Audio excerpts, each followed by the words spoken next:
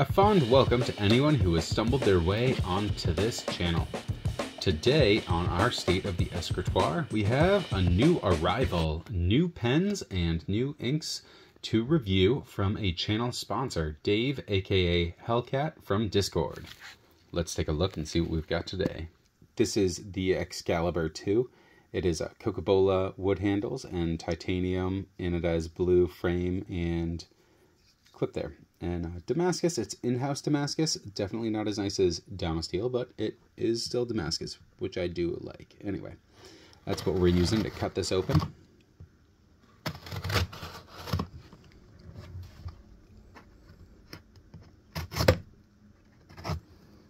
If you guys were anything like me on today, today's the 22nd as of filming. So it was brutally hot today. It reached 90 where I am. So I went ahead and installed all of our home AC units. So that's going to be a big help. All right, let's see if we got it.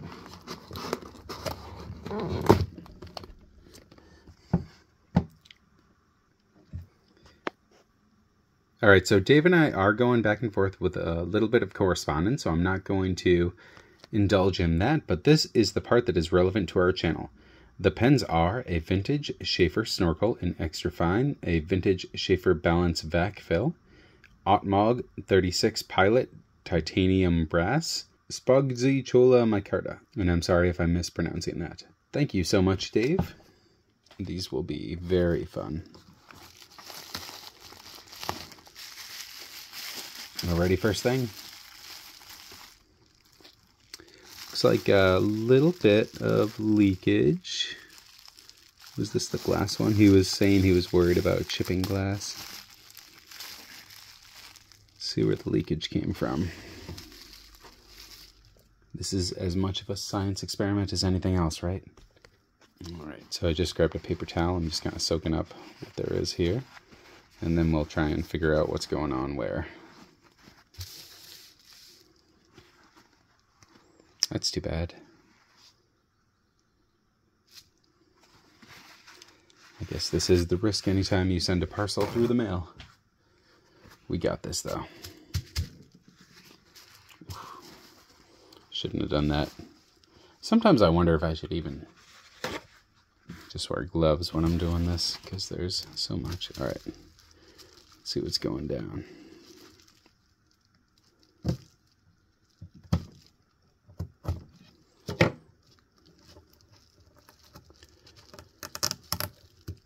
Oh, we'll see. Maybe it's just loose. I was surprised by the tin cap. Oh, no, lots on my hands. Let's use that. Oh. Whew. Inky, inky. Part of the hobby.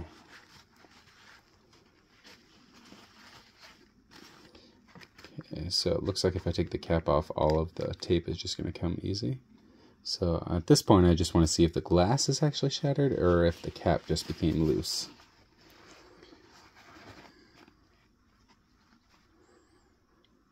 I'm going to hold this up to the light. Actually, you know what? I'll do this with you.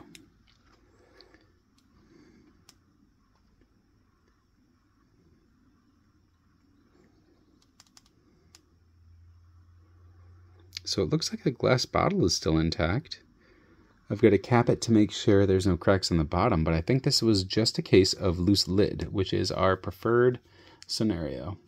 And that's crazy too, because he really did tighten this with lots of duct tape. So it might just be that this vessel in general, and we'll look, doesn't seem like there's an O-ring. Maybe that's just it. Maybe it was just some ink that came up and out there. Huh. Wonder what this one is. I wonder what this ink is. I'm intrigued.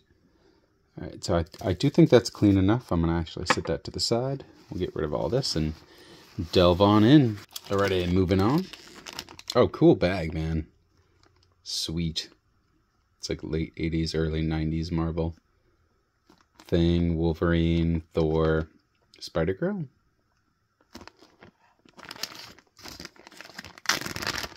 By the way, my kids um, are starting to be at the age where the new Spider-Man cartoons are coming into play. And um, the dude from Panic at the Disco did the song for the new Spider-Man cartoon, so that is epic. I can rock along to that, and uh, that's a cool thing. Wow, look at all this ink. Looks like we got a little bit of leakage from something, maybe not. So this one is Van Diemen's Shooting Star. This one is Diamine Desert Rose. Huh. Let's see what these two are. Oh, looks like that's the one that might have been leaking.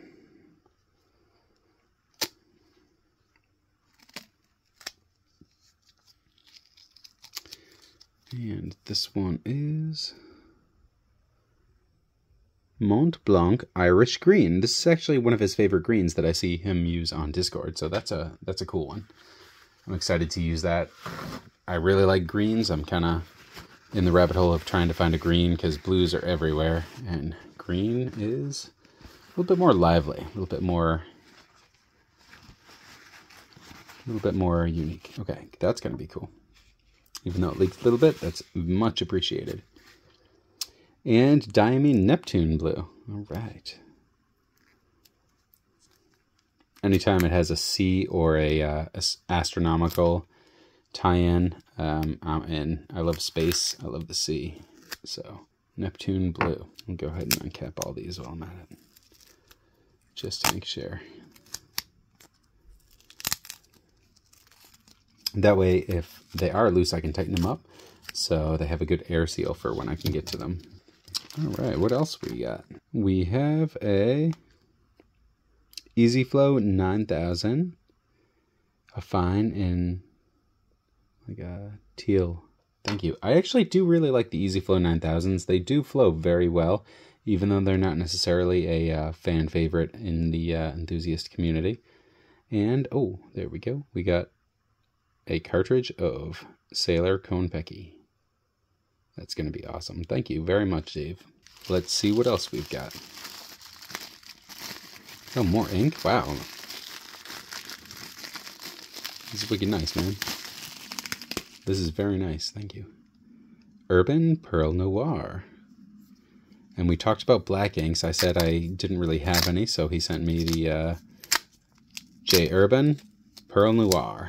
And I've read and heard good things about this. This is from what I've read of Black Inks, one of the top two or three recommendations. So that's going to be fun, and I haven't got to it yet, but I can eventually compare that to Wearingeul Hades, which is black with a blue shimmer. So I've got two blacks up and coming. Stay tuned. Let's see what else we've got. All the good stuff, right? All the pens. Oh, wow. Look at that. That's a cool micarta one. Micarta is uh, the material that it's made out of. It might be a pull. Oh, there it goes, twist. Hmm. With a zoom nib too. I'm gonna have to um, look into that, and that'll be interesting. That was a very intriguing, intriguing nib.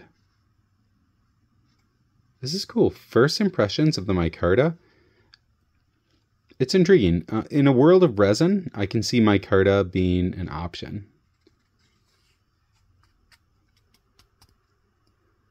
A little bit tougher to kind of thread in. Let's see. Let's give you a home for now until we get you in the case.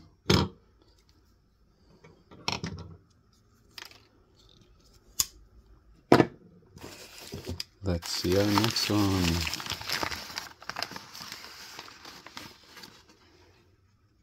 Oh, that's pretty. This must be one of the Sheaffers. Looks like we got a little bit of inkage, and that could happen if it's inked up and it goes through um, air postage because the pressure changes. So we'll go ahead and take care of that. Looks like it's inked up in a nice green. That's the snorkel. Look at it. Yeah, there it is. That's a little snorkel. That's the first time I've seen use the snorkel in real life. Look at that nib. It encompasses the entire feed because of the snorkel. That's going to be unique. It's going to be very cool. All right, at this point, I'm kind of cleaning as I go. So I know I had some ink there. I'm just going to go ahead and take care of any ink in here that might have sporadically gotten about. Um, there's enough to note. I don't know much about uh, Sheaffer history, honestly, so I'm going to be happy to look into that for you guys so I can give you a, brief history when I do these pens. That's one of the things I really love about this channel is when I can, I try and get you guys more information and that results in me learning more about the same thing. So I really enjoy our deep dives and informational expertise as it were. All right, so I think that's all set. Let's give it a, a right. This is actually, looks like craft paper, so yeah, we're working, we're flowing well. Very nice flow. Maybe it's the paper, I don't know. Oh yeah. We'll cap this bad boy up. Excited for that one. Next up, let's see what we got. Oh wow, that's really pretty. The cap is a beautiful shimmery orange, and the body is kind of a, it's more of a subdued gentle purple color, but then the shimmer in it is also orange to kind of correspond with the cap. It's a neat, it's a very cool pen. Oh, oh, we had a, uh, a drip escape. Again, this can happen anytime something goes through the air with the pressure changes. Let's get something to clean that.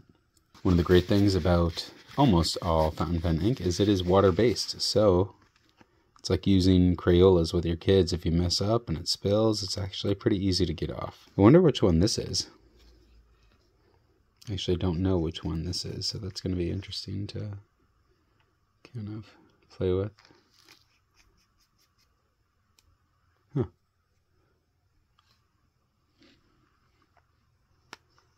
It's a very unique color. Like I wouldn't think it would go together except for the shimmer on the body part kind of corresponds with the cap and it kind of ties it all together.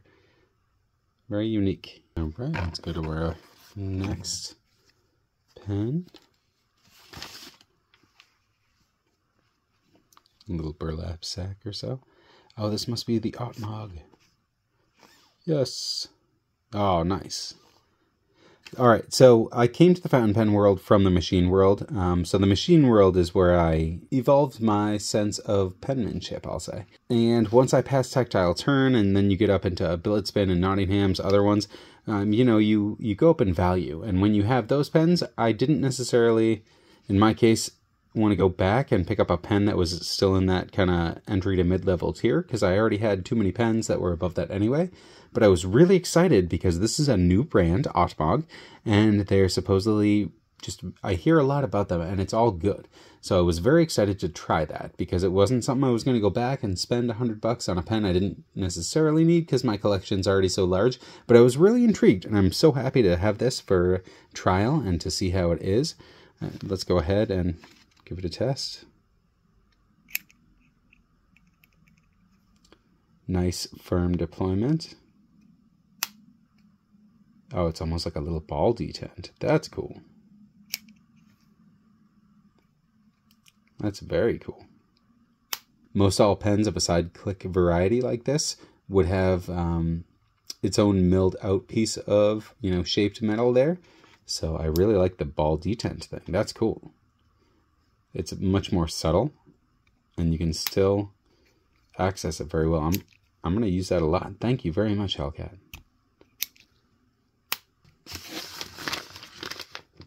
Ooh, look at that. Brand new. Went to write with it and it's brand new.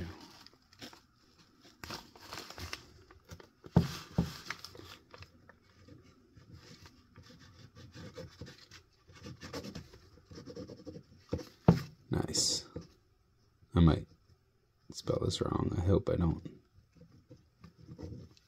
Otmog. It's something where I want to say automog, but it's not auto. It's like ot. So, Otmog. This is cool. Feels like titanium from the weight and the kind of shimmer of it, but it looks like it's got a brass mechanism up here. Nice. Thank you, Dave. What do we got? One, two, three, four pens. All right, I want to make sure I'm not missing anything. And we suddenly have way more to do for you. way more to report on. Thank you so much for supporting our channel, Dave, aka Hellkat, on Discord. I really look forward to sending you a return care package after I review all these awesome pens. And just thank you for being around and being an awesome supporter and being an awesome enjoyer of pens in general. I also enjoy your writing that I also see posted. You do a lot of handwriting samples on some of the discords that I'm involved in. So I appreciate fellows like you that kind of live in the art and you work with it each day and it improves both your mind and your aesthetics of your writing too. So thank you again, Dave. I hope to get back to you soon. And if you are a fan of this channel, thank you for following along. And I'm really happy to have some new awesome content to bring you. Some new reviews of both ink and pens.